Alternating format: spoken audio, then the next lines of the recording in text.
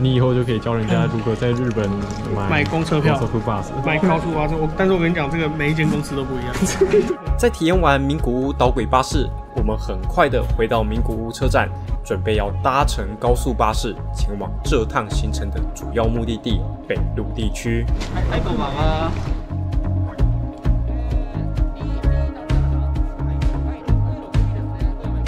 はい、こんばんは。はい、どうぞ。北陆地区位在名古屋北边，临近日本海的区域。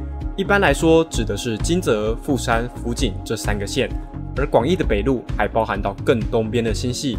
不过，我们这趟主要是搭配由 JR 西日本发行的北陆 Pass，而新系则是属于 JR 东日本的辖区，所以行程上还是安排在狭义的北陆三线。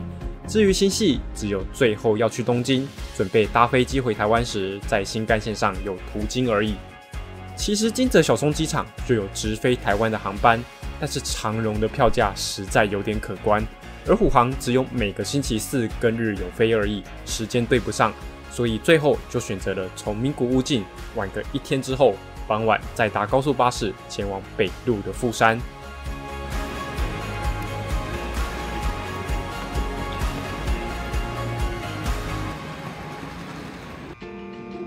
名铁是目前唯一能够抵达名古屋连外的中部国际机场的轨道运输，每个小时有五到六班直达名古屋车站的列车，速度最慢的急行需要五十到六十分钟。不过同样票价也可以选择特急列车，只要三十七分钟就能够抵达名铁名古屋站。名铁名古屋站在铁路营运上也是个相当经典的案例，拍不到你。整座车站只有两线轨道。尖峰时间每个小时单方向的列车数却可以高达二十八班，当中高效率的秘诀来自于月台设计。到站时会先开启列车右侧车门，等乘客下车告一段落，才会开启左侧车门，让另一边月台的乘客上车。之后再关闭右侧的车门，让上下车的乘客不会都挤在同一边的车门。而下车月台是双方向共用的，所以虽然是两线轨道。却有三座月台，尖峰每小时二十八班的列车数，跟台北捷运板南线是一样的数字。重点是明铁还有六个不同的车种，铁道大国的管理营运哲学，真的值得台湾好好效仿。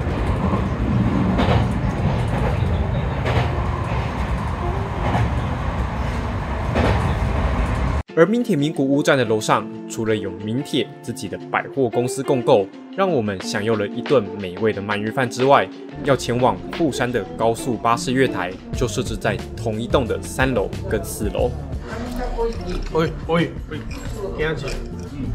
没有，你知道，广角镜看起来你变得更广了。我知道，我想问能不能说，啊，他刚他刚说不行。人还在台湾的时候，就已经先把高速巴士的票给订好，到了现场只剩下付款取票的手续而已。这边跟麦当劳很像，柜台其实就有闲置人力，但是还是会引导你去旁边按一幕，等按一按到最后阶段的时候，又跳出需要插钥匙才会吐票的指示。就会冒出这样，难道真的有比较节省人力的疑问？是是，看看你有几个？几个？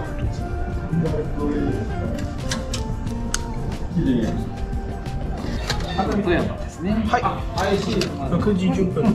これがまず、えっ、と乗車券で6番のわかりました。こちらがカードの 是一张很阳春的票，哦，你要放吗？放啊放啊放，放一起就好了。好，放一起啊。他那那真的，我如果是手机刷的话，他应该就不会有票了。哦，对他应该就会直接是电那个啊，PDF，没有，这因为个就是我之前你以后就可以教人家如何在日本买买公车票高速 bus。买高速巴士，我但是我跟你讲，这个每一间公司都不一样，每一间客运公司都不一样。这个我知道你拿你你教了没有用，你只能在名古屋用。因为我以前我以前有买过那个东京到大阪的夜车对对对，夜车夜车嗯夜间巴士，我之前然后然后他就是真的是走完全不一样的流程，我之前我我之前在九州的时候是、是我如果要坐哪班高速巴士，我就上上网站订一订，然后刷了卡，他就寄一个，他就寄寄 email 一个页单给我，上面也没有什么 QR code 什么，他就跟我说要凭这个搭车。我想说上面没有任何的东西，上面只有我的名字用片假名写，然后我的电话号码，他完全没有在认证。然后我只要拿出那个 QR，不是 QR code，只要拿出那个 PDF 档，他就他就讲我的名字，他就用那个用一就是用就是读出我那个片假名，然后说说说说说萨马迪斯内，我说嗨，就上车了，这完全可以帮我用。只要有人，只要有人可以拦截到我那个档案，他就可以盗用我做那个车。你的教坏小孩时间，没有没有没有没有，这个是提醒大家千万不要这么做。在东京，然后就是他在东京站那个湾湾之内口外面，然后外面就是南边吧，有一群一大堆的高速巴士，断野桥，他地方起，对，然后断野桥，然后很烂，那个超破的，对，然后一然后然后货车站，然后还一堆一大堆哦，一大堆都是我同样是东京往大阪的，然后不同公司，对，然后你就要找这个到底是哪一班的，你你要看，而且而且还只看时间不一定准，因为有可能对对对都是同一个时间对对对对对，我那时候真的是超崩溃。我记得好像这同一个时间，好像是三班还是四班吧，哦，疯哇掉，，他这里直接给我写，给我写付款完毕，哎，哦直，接就是刚刚刷的那张票，可以再看六。然后我刚刚为了保险避免我们迟到，所以我多订了一班这个。我们我们不要当不要当失格的旅人，我现在把它取消掉。你 已经是个旅人了。我们在日本街头发现的这个是号交通部号称会让人家看错方向的那个红绿灯。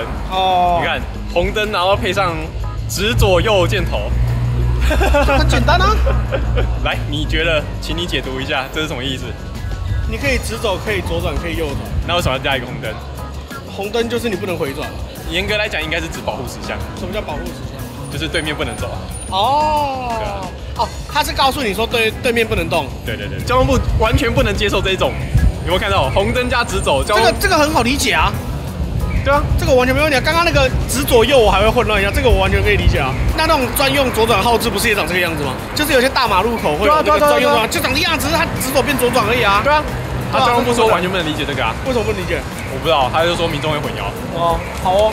没有啦，我跟你讲，就是为什么要有那个红灯，然后配上直左右，是因为如果今天对向可以走，就像这个状态，然后我们这边也可以右转的话，它上面亮的会是圆形绿灯哦，然后然后我就知道我要右转，我要右转的时候，因为日本是左右相反嘛。对对对对我要右转的时候，我就知道我要注意对向来车。对对对对但他如果红灯写右的时候，我就知道我不用注意对向来车。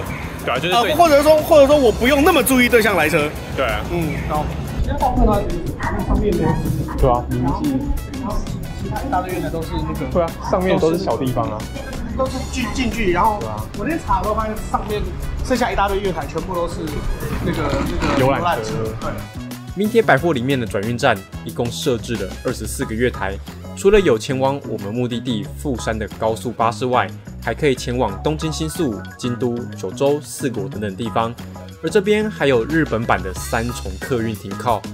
其实日本的高速巴士也算蛮蓬勃的，只是被铁道大国的光芒给覆盖，甚至很多铁道公司自己就有跳进来经营市区或长途巴士，像是这次搭乘的路线就是由民铁巴士跟富山地方铁道共同营运的，而我们搭到的班次则是由富山地铁来跑，人还没有抵达北路，就先搭到了北路的车子。アイドルは富山行くのでね、アイドルだ。記念としてもらえんがいじゃあ。これシャメラしてもいいけど。はい。う OK，啊，我很喜欢这种服务，什么 feel？就是不坐坐。哦，这次搭到的车是四排座，几年前搭东京到大阪的夜间高速巴士也是四排座， 不像台湾除了通勤客运之外，几乎都是三排座。不知道是不是日本不太流行就是了。有力头困难，你要不要拿下去？你要三个小时哦，三个小时哦，你确定哦？在座位偏小的状况下，最后还是把包包往下丢到行李柜了。可以看到名古屋的街头，哇，这个标线画的真棒啊，舒服。傍晚六点十分出发，一出转运站就遇到了小塞车。还好这天是星期六，倒也没有在名古屋市区卡太久。原本有考虑要搭下一班七点四十分发的，但是到富山就已经是深夜的十一点二十分，觉得有点太晚，就还是选了这班。表定九点四十七分就会抵达富山，可以保留时间到旅馆 check in，有体力的话再到附近晃一下。不过大概是时间带真的还不错，所以直接客满。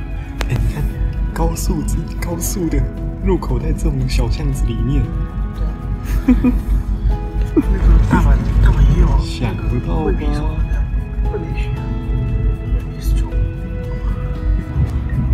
然后这个只是通道哎呀，前面要右转，哦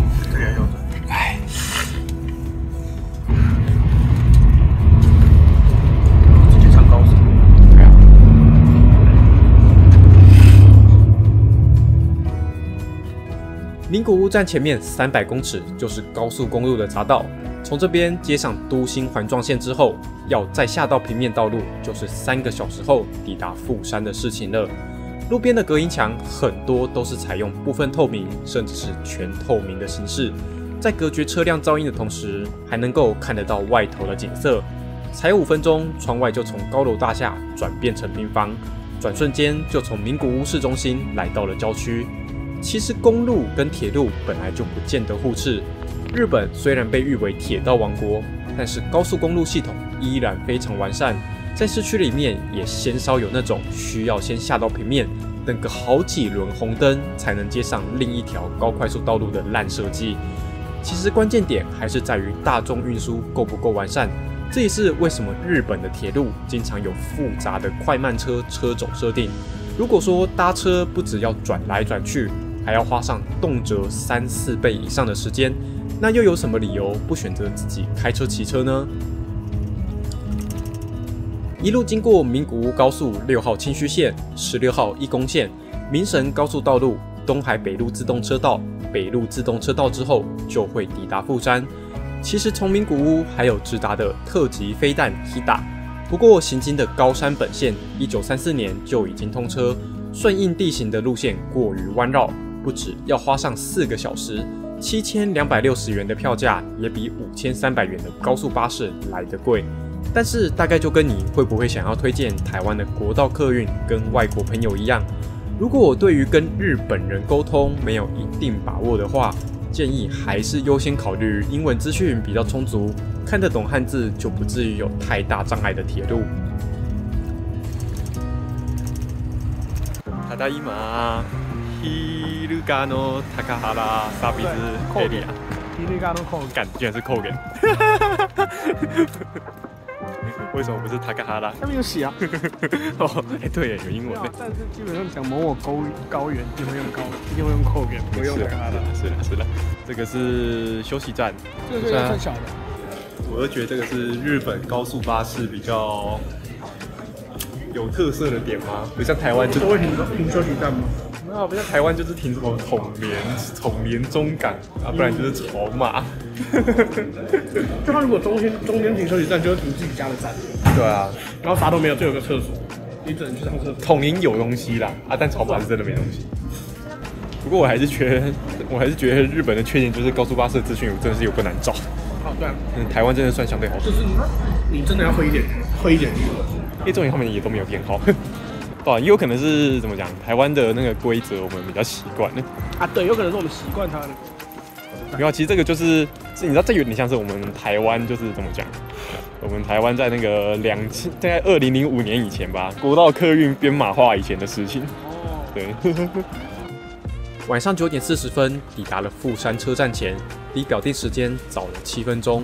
有些乘客在下高速公路的沿线站牌陆续下车，这点倒是跟台湾的国道客运很像。在富山休息一晚，隔天要前往的是著名的立山黑部。除了要体验日本最后一个今年结束就要说再见的无轨电车，以及欣赏美景之外，沿途还有很棒的观光配套，相当值得，也绝对适合台湾的国旅来效仿。敬请期待喽！